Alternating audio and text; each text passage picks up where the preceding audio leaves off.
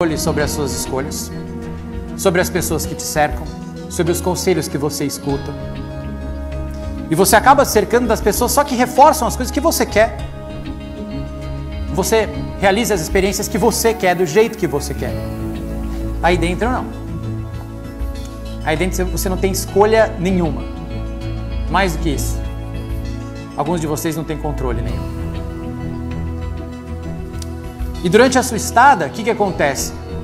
Traumas antigos reaparecem. Feridas que você achava que estavam curadas abrem de novo. Novas feridas aparecem. E você conhece também coisas que você é capaz de fazer que nem você imaginava. Os sentimentos mais malucos que você nunca sentiu entram em erupção aí dentro. Você não tem ideia do que está acontecendo. Isso acontece para o bem e para o mal. Porque esse é o único jeito de ganhar. Isso vai ou te deixar rico ou te botar na rua. Mas não tem outro jeito de jogar o Big Brother Brasil. E é um jogo. É o que é aí dentro. E é uma bênção e uma maldição. Sabe por quê? É uma bênção. Porque o que vocês fazem aí dentro é aí dentro. Não deve transbordar. É uma circunstância muito extraordinária. Mas é uma maldição. Porque também o que vocês construíram aqui fora não adianta nada.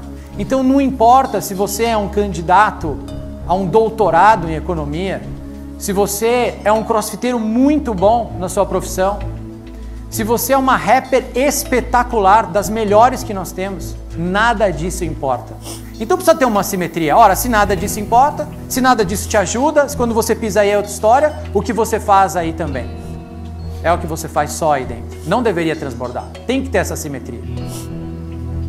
E por causa do jogo, o estilo de jogo que você escolheu aí dentro é parecido com o que você sempre levou aqui fora, até de combate. Sempre. Porque foi o único jeito que te ensinaram, é o único que você sabe. Mas aí não é só o que vale. E ao mesmo tempo que você feriu, você acaba se ferindo. E aí chega uma hora que você tem que ir embora. E você poderia até mudar seu estilo, você teve chances de mudar seu estilo de jogo. Mas aí também não é você, né? Porque quando você entra, você entra para tombar, seja lá o que for. Quem sai hoje é a Carol. Sim.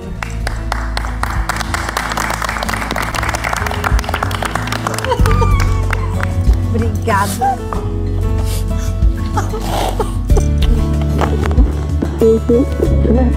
Obrigada. Não, tá tudo bem. Obrigada. Eu amei conhecer vocês. Te falei.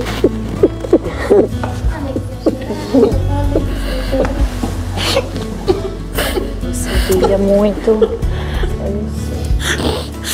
Eu não tenho muito orgulho de você. Obrigada.